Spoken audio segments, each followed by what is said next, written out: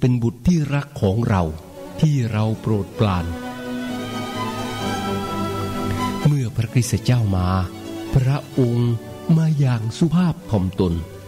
พระองค์รับพิธีล้างเหมือนคนบาปอื่นๆ แน่นอนพระองค์ทรงอนุภาพ แต่พระองค์ไม่แสดงตน พระองค์เป็นนายแต่หมารับใช้ พระองค์เป็นพระผู้ไถ่ แต่ยอมให้คนตรึงพระองค์บนกางเขน เพราะเหตุนี้ พระบิดาจึงตรัสจากฝาว่า ท่านเป็นบุตรสุดที่รักของเรา โดยทั่วไปแล้ว คนเขาเห็นความสุภาพหรือการนอบน้อมเชื่อฟังเป็นความอ่อนแอ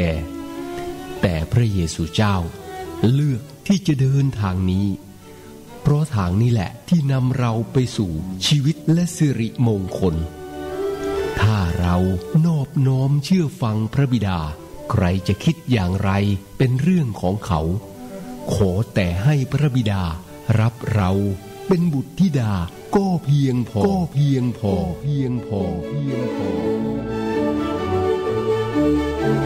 พระอัครสังฆราชหลุยจำเนียนสันติสุขนิรันดร์